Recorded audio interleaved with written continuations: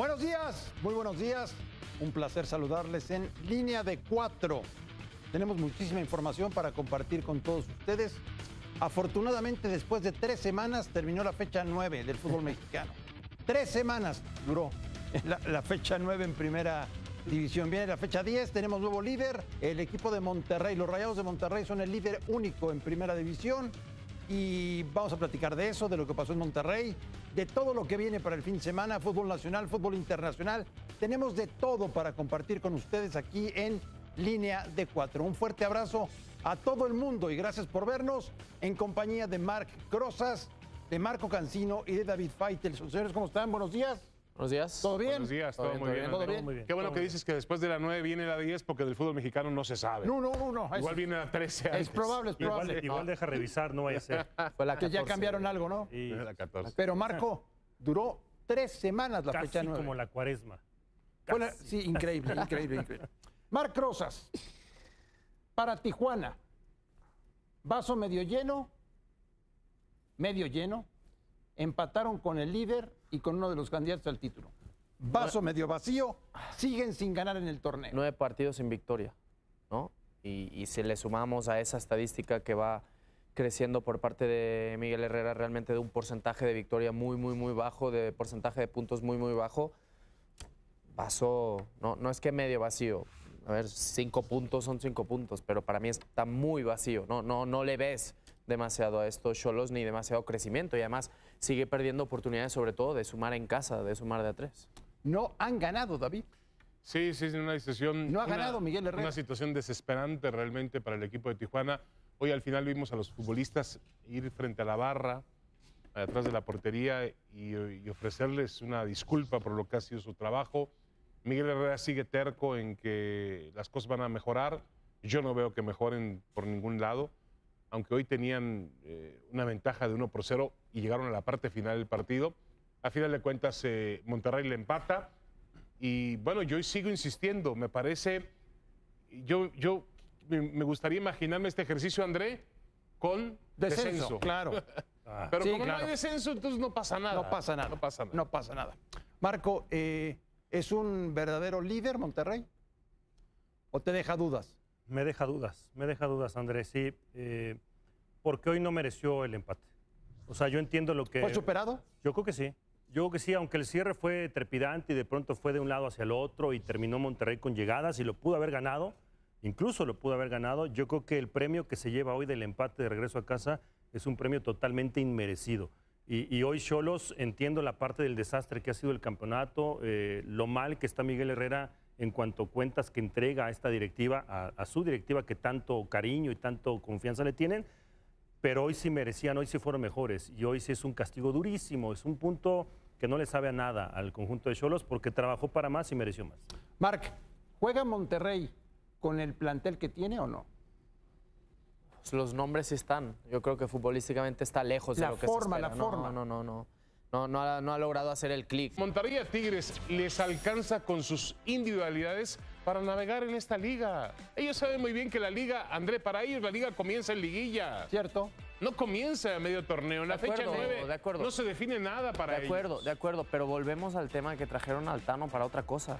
Y ya, a ver, ya lleva desde agosto, desde junio, julio. De lo la- han traído para ser campeón. No, no, no, no, no solamente No, eso. porque no, porque eso- si no se hubiera quedado Bucetich. dejado a Bucetich con un No, fue abiertamente puntos, y la ¿no? conferencia de prensa Porque del tampoco el Tano es un clara. entrenador que tenga una experiencia como para, o, o haya mostrado que puede ser campeón, no lo ha sido. ¿no?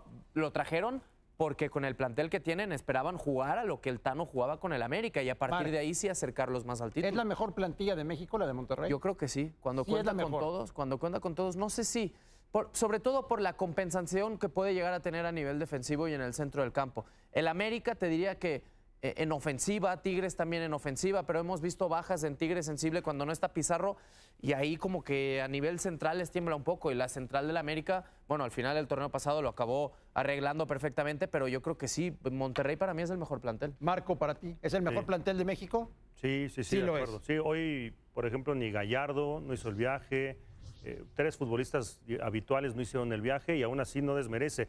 Eh, el equipo arranca con seis modificaciones con respecto a su último partido, que ganaron a Bravos. O sea, lo que pasa es que si nos emocionamos por la victoria contra Bravos, David, pues también, No, o sea, no, no, creo que este Bravos no es parámetro. De Tigres. y- de ti, De de, De Bravos la semana no, pasada, De. Bravos la semana pasada de Rayados. Sí, sí, el O sea, 0-3. le ganan, la verdad, caminando, porque lo de Bravos es otra cosa.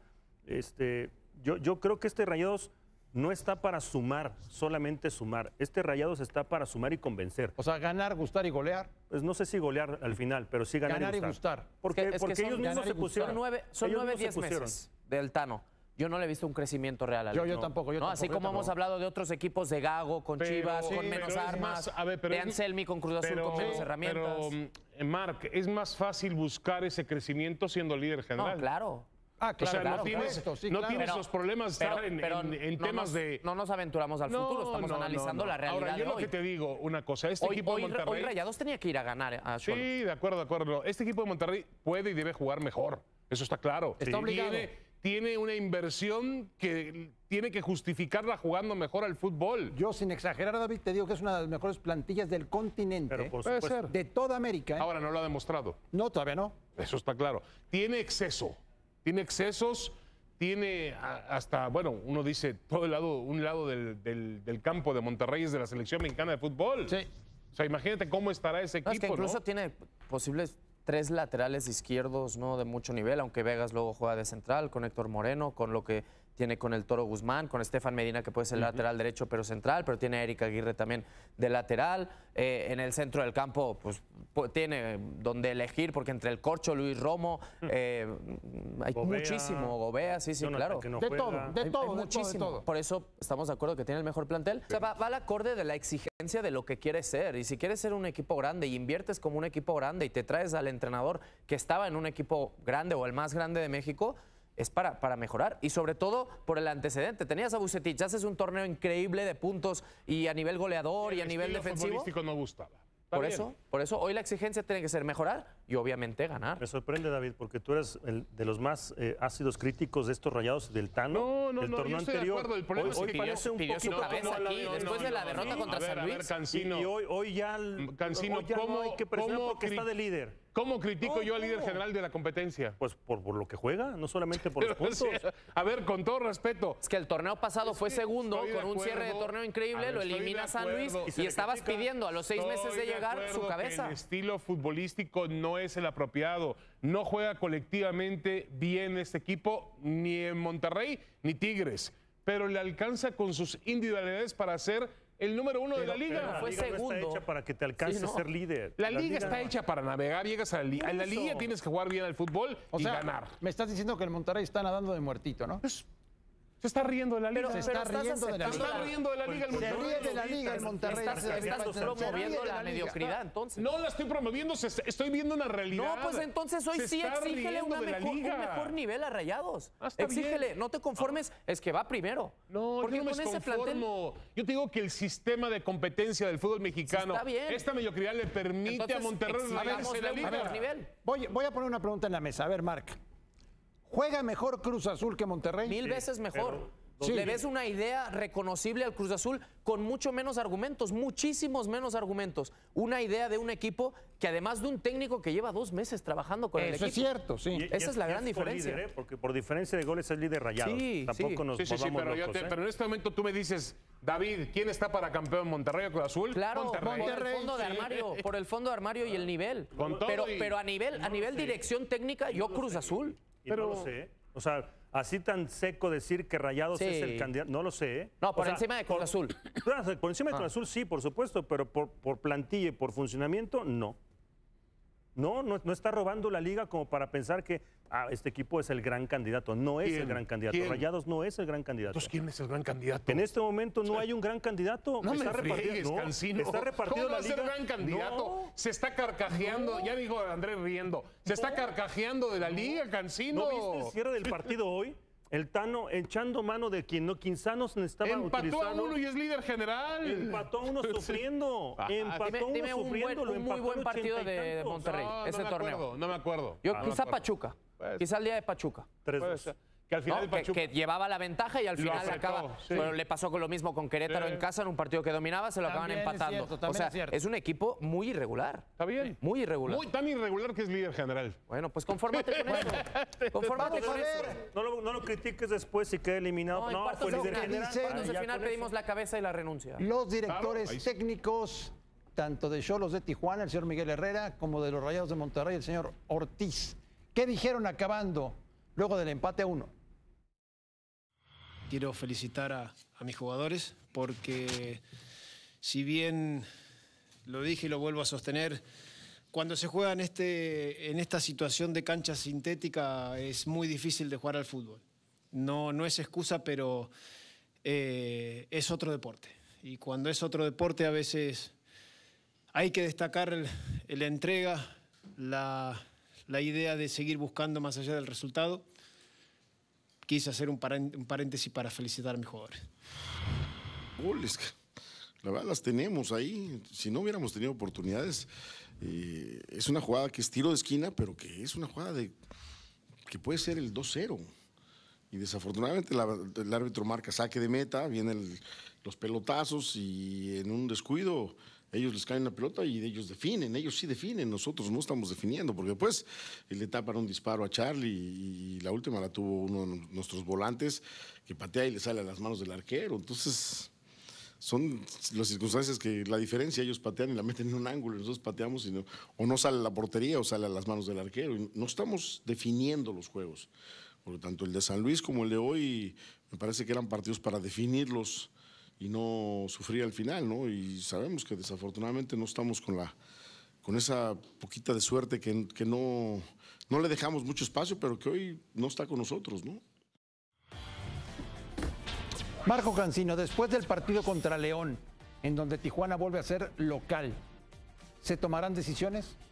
Yo creo que no. Yo, yo, yo creo, digo, le creo a Paco Arredondo O sea, que hace unos días nos ¿Crees decía- que se va a quedar Miguel todo el Yo, yo torneo? creo que sí, porque ¿sabes qué? Si, si, si pensaran lo contrario, ya lo hubieran hecho. Los argumentos hay de sobra. Y en este momento, aunque, aunque David no lo considere o no lo ve así, yo a Cholo sí le veo una mejor cara en los últimos dos partidos. Que no está dando resultado, que no le alcanza, de acuerdo, pero hoy, hoy, hoy merecía mucho más. Y mira No que Miguel. ganado nueve- no, nueve no, no ha ganado, no ha ganado, Sí, sí. pero yo creo que el proyecto se va a mantener, por lo menos lo que piensan, yo creo que ya, hubieran, ya lo hubieran corrido en otras circunstancias. Sí, pero no lo Y corren hoy, porque- y, hoy, y hoy Miguel Herrera también incluso, hasta mi respeto, sé, porque no se mete con el arbitraje de Oscar Mejía. Hay un penal que no Hay un marca, penal. Sí, clarísimo, hay un ¿eh? penal y el VAR claro. no lo señala, falta sobre Kevin Sí, es Balanta, cierto. que pudo haber condicionado el partido. Es cierto. Muchísimo. Y- Ahora, el dueño, el dueño de Cholos fue uno de los que más apoyó el abolir el ascenso y el descenso. Así fue. Él lo impulsó. Él dijo, la MLS, vamos a poner nuestros clubes en otra órbita económica. Cierto, ¿eh? Sí, es un Ahora, equipo más. todo- la Es culpa de- más. también de todo esto la tiene un señor amigo de Marc Rosas. ¿Dayun? No, no, no, no. Bragarnik, si lo Ah, conoces. ¿es amigo mío? Amigo. Bueno, no, no sé, eso me han Empezamos dicho. a sacar amistades porque no terminamos nunca, ¿eh? Si Bueno, ahorita sacas tú tu ficha. Ah. El señor Bragarnik, André, lo que hizo con Jorge Alberto Hanque es hacer de ese equipo Negocio. una promotoría y vender jugadores. Ya. Eso sí.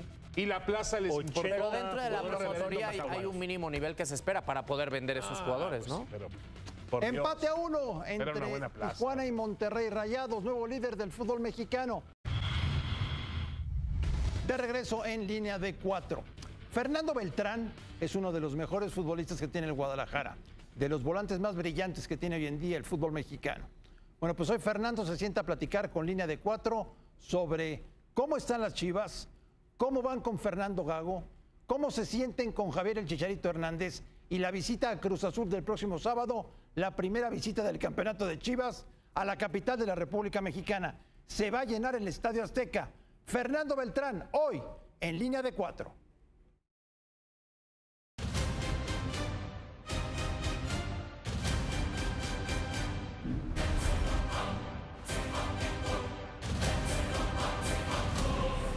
tu análisis de lo que ha ocurrido con Chivas en esta parte del torneo. Eh, muy competitiva, creo me quedo con la parte de, de que todos los partidos los hemos competido, todos los partidos eh, los hemos tenido ahí, eh, unos hemos ganado, por ahí los partidos más complicados eh, hemos tenido más carácter y, las cosas nos han salido como hemos querido, entonces me quedo con la sensación de que el equipo va por buen camino y que tiene esa hambre de querer ganar partidos. No recuerdo si fue el partido de las estrellas o un amistoso, el amistoso con Los Ángeles Galaxy, la primera vez que lo viste, ¿no? Que había una conferencia y, y ahí estabas, bueno, te veíamos muy contento, ¿no? Como emocionado de haberte encontrado en esa ocasión con, con Javier. Hoy, hoy que ya lo tienes lado a lado, ¿cómo ha sido ese, e- ese? Porque le tienes una admiración, ¿no? Sí, Supongo. obviamente, sí, y es el chicharito y es como que lo tienes en el vestidor y dices, bueno, si a mí me lo hubieran preguntado cuando era niño, pues no te hubiera dicho, no, no, no me imagino que, que Javier Hernández fuera mi compañero, que fuera a ser mi compañero. Pero ya teniéndolo aquí, pues lo disfrutas bastante. Eh, aparte lo ves en los entrenamientos y es un tipo que, que quiere estar, que quiere aportar. Eh, no llegó ni mucho menos como a veces se habla por fuera, que, que dicen que Chicharito, que él se siente más que los demás. Claro que no. Imposible decir eso de Chicharito porque hasta el día de hoy y todo lo que lo que he podido platicar con él, lo poquito que me ha ayudado, ha sido de que, que esta parte de cuando estás pagando un precio que la gente no ve, eh, es este es, es más lindo porque lo disfrutas más. Cualquier compañero a mí me motiva. La verdad, yo veo correr a Mozo y me motivo. Veo cómo pelea Marín y me motivo. Veo cómo el Piojo intenta hacer las cosas y me motivo. Y así veo de cada compañero. Pero pues obviamente si empiezo a ver a Chicharrito que, que está presionando y que está corriendo, pues me voy a motivar el doble. Y creo que así lo vemos como nosotros como compañero a él. Si, si, si es un tipo que viene y nos está aportando bastante y que quiere estar y que quiere ganar, pues a nosotros todavía nos va a dar más, más motivación. O sea, es un, es un tipo que, que aporta eh, eh, buenas sensaciones dentro de un entrenamiento. Cruz Azul, Fer, ¿cómo lo, lo, lo has visto? También digo, fue líder hasta la semana pasada, me parece. Es más, no sé si todavía sigue como líder, está empatado en puntos eh, por ahí. Este, pero no había perdido y le tocó perder con, con América. ¿Cómo has visto a Cruz Azul? Oh, un equipo muy fuerte, obviamente con una dinámica distinta, una dinámica de, de asfixiar al rival, que en ese sentido lo tienen muy marcado, que quieren marcar la diferencia con, con siempre estar en el campo del equipo contrario, ¿no? Entonces lo he notado mucho, la verdad lo he analizado bastante desde que, desde que llegó el técnico, porque se hablaban cosas buenas del técnico. Entonces ahorita va a ser un partido muy jodido. Siento que va a ser de los, de los partidos más jodidos que vamos a tener dentro de, de lo que es la, la liga. Y lo único que nos toca es este, buscar las debilidades, así como ellos buscan las nuestras, pues buscar las de ellos y, y por ahí hacerles daño. Fernando Beltrán. Habla bien, ¿eh? Muy bien, ¿no? Y, y, juega demuestra muy que lo que tiene aquí lo usa dentro y fuera de la cancha, ¿no? Porque además es de los futbolistas más inteligentes, con una Correcto. muy buena lectura, que en el último año y medio ha dado un paso al frente importante, ¿no? Ya con Paunovic y ahora con Gago, que cuando aparece eh, y, y interviene en el juego se nota para Chivas, ¿no? Es muy beneficioso con, eh, obviamente, el Piojo, ¿no? Y otros futbolistas que lo acompañan en ese centro del campo. Las bandas son, al final, los generadores de juego. Si interviene el Nene Beltrán, es positivo para Chivas. ¿Con posibilidades de selección, David, o no? Sí, eh, yo creo que el tema es algo que le falta al futbolista mexicano, André, que es mucha constancia, Regularidad. regularidad. Luego tiene otro tema, el tema físico. Yo no sé si le- el físico de él le da para competir. Obviamente se lo da para competir en Chivas, no sé en otro nivel. Eso también habrá que tomarlo en cuenta. Xavi Ya- Iniesta te mandan saludos Ah, con su físico. Tiene Ah, razón. bueno, no estás comparando. No, no, no, no, pero a ver, con en nuestro, con Iniesta, en nuestro ¿no? fútbol sí, ¿no? ¿O no? Ah. Porque Sí, no, Charlie Rodríguez y el Nene son parecidos, no, no, son físicamente No, no, no, portentos, pero tú pero dijiste son- Xavi e Iniesta. No me, la cambies, no me cambies a Cancino rápidamente. No, es que sí. Caíste, dijiste Xavi Pero él te Iniesta. preguntó selección, no Pide selección española ni Fútbol Club eh, Barcelona. Crozas, ¿No? ¿cómo comparas a Beltrán Ah, con te Xavi saliste bien. Primero te quedaste, No, ahora no, te saliste. no, no, Hermano, no, ¿estás viendo? No, es que sí, Estás viendo que se había No, quedado perdón, callado. pero es que sí, sí, sí, como que gracias, Cancino, porque Pero les preguntó para selección mexicana, no para el Fútbol Club Barcelona. No, está bien, está Sí, bien. Mira, yo, lo que me quedo pensando de- de- del nene Beltrán es que en los, en los últimos tiempos, como decía Marc, era más fácil que sacaran y sacaron al Guti y al Pocho que al nene. Sí, es cierto. O sea, este es, este es inamovible. Inamovible. Con el técnico que Y me además digan. para Gago, Eso. por el tipo de Por- futbolista que era algo también Gago. tiene, Claro. evidentemente. Yo creo que lo único sí, en- entiendo esa parte de física que sí. Vamos, a mí también me gustaría que nuestros futbolistas mexicanos fueran otro tipo de, de físico. Sí, que los tenemos, ¿eh? Sí, Digo, pero, pero en esa zona del campo para competir de otra forma. Pero si él logra en algún momento hacer lo que hacen Chivas en selección, también puede ser un tipo Ahora, ¿contra quién compite en El tema selección? es que en selección, no, compite con muchos. No, con muchos Con volantes. Chávez, no, con Eric sí. Sánchez, que tiene un físico espectacular, ¿no? Mide como 2 metros 15. Bueno, a ver, por eso, a ver, espérame, yo en Pachuca, no, no, no, no, Dos te ríes, pero yo, yo sé que el Pachuca no ha podido llevar todavía a Eric Sánchez al siguiente nivel por el tamaño. Es el tamaño. que les muestran el otro día video me lo contra decía, el Alemania. otro me lo decía Denis de Klos y también Hans Westerhoff. Los tamaños físicamente para competir hoy en el fútbol. ¿Quién es el futbolista mexicano con más años en. Europa? Andrés Guardado. Mide metro 95 también. pero es que es al final es nues- nu- nuestra fisonomía también, ¿no? Eh. El mexicano, hay pocos Bueno, mexicanos altos como tú, la gracias, realidad. Gracias, ¿no? Y, y Cowell, ¿no? También. Pero, este, pero, pero, bueno, no me digas Santi Jiménez es un tipo físicamente No, sí. ¿Qué, desfavorecido, qué ¿eh? genes trae? Ah, ah, ¿Qué no. genes trae? No, no, no, ¿Qué no. genes trae? Santiago nació en Buenos Aires. Bueno, ¿eh? Raúl Jiménez no es un tipo No, no, no, es que desfavorecido. sí, claro que físicamente, los hay, claro. El Maza Rodríguez también, También, era, una- y estuvimos con Salcido hoy aquí también. Chucky Lozano es un, tiene físico pequeño, pero es entrón, ¿eh? El Y tema es que pega y, el futbolista y- mexicano y con su físico se tiene que hacer notar. No se tiene que notar que no tiene el físico. O sea, me parece que, que- que el nene tiene condiciones No te muy entendí, interesantes. pero tienes razón. No, no, no. O sea, es que si nos empezamos a preocupar porque el físico no, pues entonces no Es que van a dar nuestro nunca. fútbol tampoco es físico, ¿no? Y creo que nuestro ADN está el buen manejo de balón, obviamente el competir desde otras cosas, no te vas a poner a competir con las torres alemanas al, al- al juego aéreo. Entonces ahí sí, en partidos así, pues usamos a futbolistas en balón parado, pe- pero para otras cosas juegas por Eh, abajo. la semana pasada, André, me tu- tuve la oportunidad de quedarme atrás de una de las porterías. Estaba jugando Feyenoord la Roma. Sí, Cuando yo vi al señor ese Lukaku sí. echar el cuerpo para atrás, y yo dije, Dios mío. Bueno, aquí tenemos a Dios Memote, ¿eh? Tampoco nos quedemos atrás. Luego, en la, en, el- en la- en la zona mixta de la conferencia, me acerqué a él y el zapato mío, yo, yo calzo grande. Me quedaba, bueno, él, él- yo, yo calzo la mitad de lo de Vamos él. a, vamos a pausa. Ese, ya, por ese favor. hombre, Ya, o ese sea, hombre lo ven, a esta hora y lo ven no, los ya, jefes espérate. de Kansas City, André, y le ofrecen un puesto como ala cerrada, Ya, ya sin te ningún problema. te. Calza grande vive lejos. Exactamente. Ah, enseguida Bueno, como David de Faitelson, calza grande, vamos a hacer una pausa y volvemos a línea de cuatro.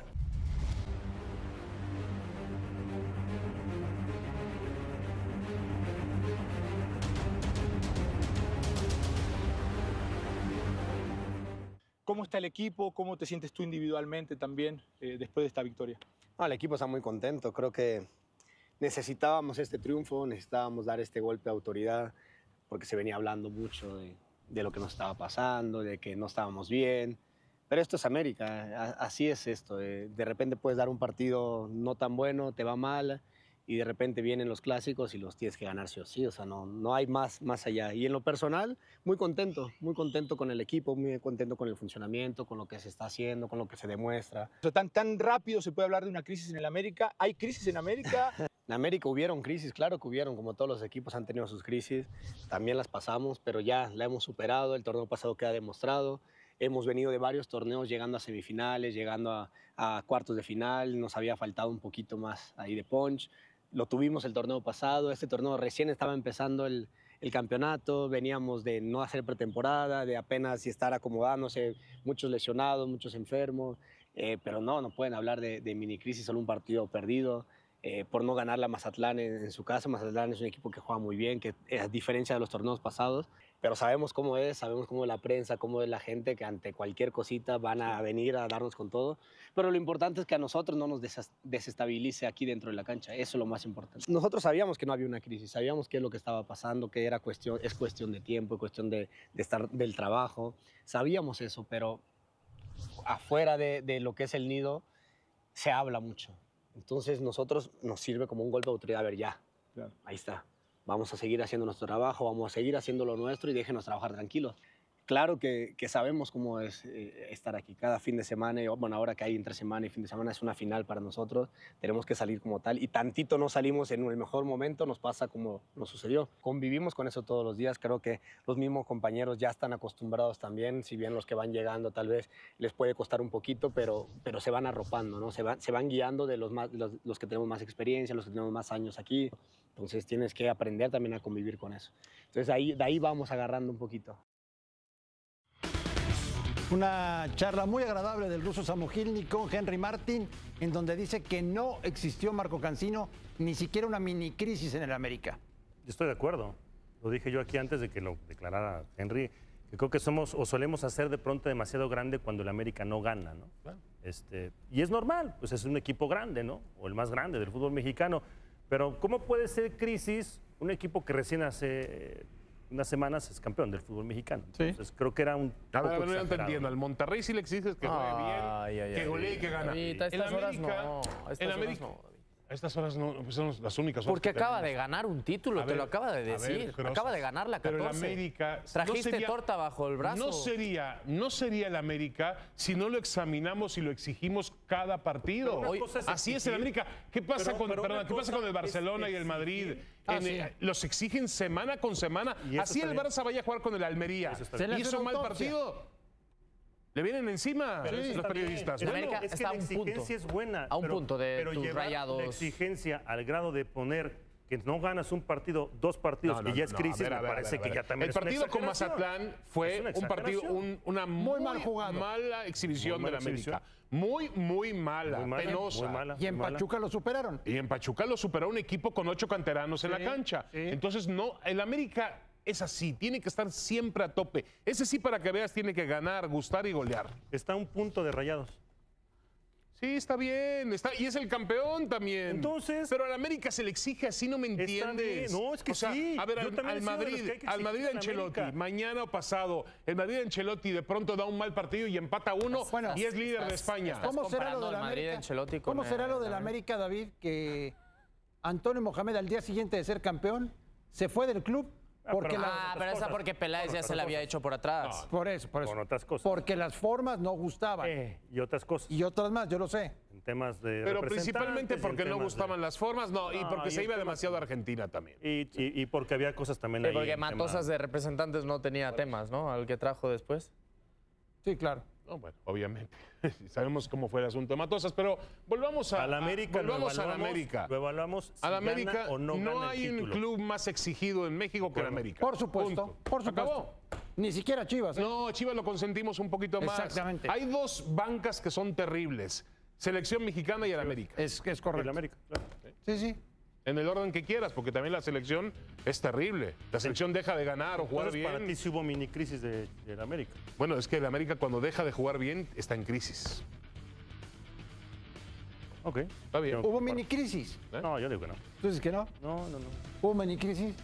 ¿No ganó qué fueron? ¿Cuatro partidos? Sí, más o menos. Cuatro partidos. Un una derrota. los También la derrota de visitante en Nicaragua, ¿no? También. La derrota en Nicaragua, Crozas, la tenías bien escondida, ¿eh? ¿Contra el qué? Entonces, para ti sí. El Real No, no, no, Estelí. no. Correcto. No, no, no. Volvemos. Es línea de cuatro y tenemos mucho más para ustedes. El campeón mexicano pierde con el Real Estelí.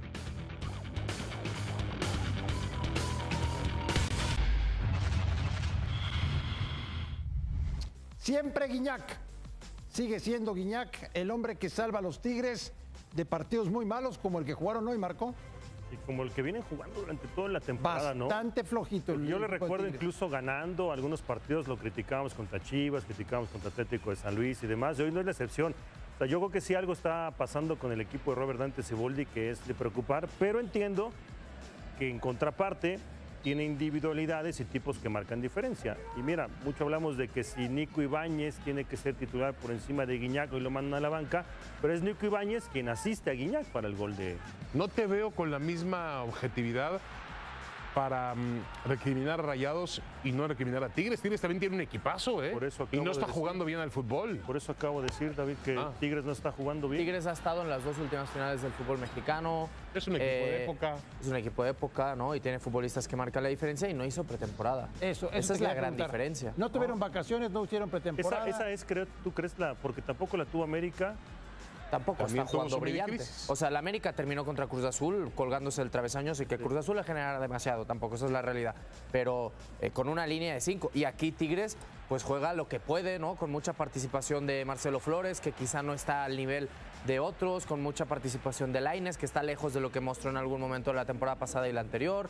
Quiñones regresando sin ser el Quiñones que fue en algún momento, ¿no? Yo creo que muchos, también Pizarro ha estado lesionado. Eh, incluso el mismo Nahuel, aun con buenas actuaciones, creo que no ha sido el Nahuel dominante de muchos momentos. Ahora, yo no Todos quiero estos ser- equipos hay que verlos en la liguilla de del fútbol acuerdo. Y, y a mí me parece que, que tanto Tigres como Rayados están navegando plácidamente en la liga. Tranquilos, tranquilos. No tienen que apretar el acelerador, saben cuando tienen que apretarlo. Ahora, yo no suelo ser muy indiscreto, pero en, sí, en un programa sí. de esta misma cadena, un personaje que se ha sentado en la mesa, que no es Cancino, ni es André, ni soy yo, Ah. dijo que para él era más importante en Tigres Nahuel que Guiñac. ¿Tienes el corte de eso? Yo ya, yo ya lo vi el corte de ese. ¿Ah, sí? Y ¿Dije creo- eso? Y creo que no lo entendiste bien, David. Ah, Ah, yo no lo entendí bien. Gracias. Bueno, a ver, eh, explícalo, Crozas. no, porque- es que, mira, estuvimos creo en un programa de En línea e- de cuatro, ya que en mencionas este eso. momento, dijiste en este Ayer, momento. fue ayer, fue ayer, ¿eh? No, no, no, fue hoy. Fue, ah, bueno, No, sí no, fue. fue ayer. Pero hace tiempo estuvimos también en un, en un programa de línea de cuatro en el que tú criticabas fuertemente a Guiñac que ya no estaba para ciertos partidos. Después de ese partido contra Cruz Azul, quizás, o de Pero- algunos, pero el de algunos de esos. calla la boca cada sí, partido. claro, porque la calidad nunca la va a perder. Y seguramente si metieras a Hugo Sánchez dentro del área y le metieras un balón, No, no, sé si una chilena, pero algún gol te metería también. No lo sé. pero hoy, si yo tengo que elegir a uno de los tres baluartes, cuatro, Carioca Escucha, ¿eh? también, de, de si, Escucha, si me tengo André, que quedar pero con dijo uno de hoy. esos, Escucha, André. me quedo con Nahuel hoy. Pero en la Hoy. historia, No, en la no, historia, claro, evidentemente claro. Guiñac va a pasar ¿Cómo lo ves, como el futbolista No, más grande de la historia de Tigres. No, pero es que Guiñac está en otro nivel, ¿no? Sí, pero hoy, hoy, por decisivo y por lo que tiene en plantel también Tigres, que puede jugar Nico Ibáñez, puede jugar muchos más, creo que puede llegar a ser más decisivo Nahuel. A mí lo que me convence es que te, te estamos perdiendo con el escorpión y Wherever Tomorrow que están cambiando. Eso también lo dijiste en el otro programa. lo- Definidos los rivales de los equipos mexicanos en la CONCACAF Liga de Campeones. Pachuca va a jugar contra Filadelfia el 5 y el 12 de marzo. Orlando y Tigres el 5 y el 12 de marzo. Cincinnati Rayados el 7 y el 14 de marzo. Y Chivas de América el 6 y el 13 de marzo. Son los enfrentamientos que tienen los clubes mexicanos en la CONCACAF Liga de Campeones. Torneo que va a ganar un mexicano, ¿no? Ayer ya lo dijiste, hoy lo repetimos. Como no, nos va a sacar, tan- no nos va a sacar el video. convencido, André. No lo veo tan- todos los No días lo sé. repitiendo. Lo va a ganar un mexicano. Sí, lo Bueno, está, está Bueno. el Inter Miami por ahí, ¿no? Que es el Sí, sí, un poco más Cincinnati, adelante. que viene también de una temporada durísima espectacular prueba la El pasada. y- equipo de Brando. Sí, sí, Ahora, sí. el tema, por ejemplo, Tigres es un candidato a ganar el, el torneo Claro que sí. Y no está jugando bien al fútbol. Ya lo Es hemos correcto. Se cruza con Rayados, Chivas se cruza con Sí, América. Monterrey, Monterrey ya tiene el boleto al Mundial de Clubes. Creo que hay Pero si puede No, dejar a, sí, sí. a Tigres sin Mundial de Clubes, lo va, lo va a hacer. Y en América Señores, buenos días. Está desesperado por Vámonos. Buenos días. Buenos días, buenos días. Hasta mañana, gracias.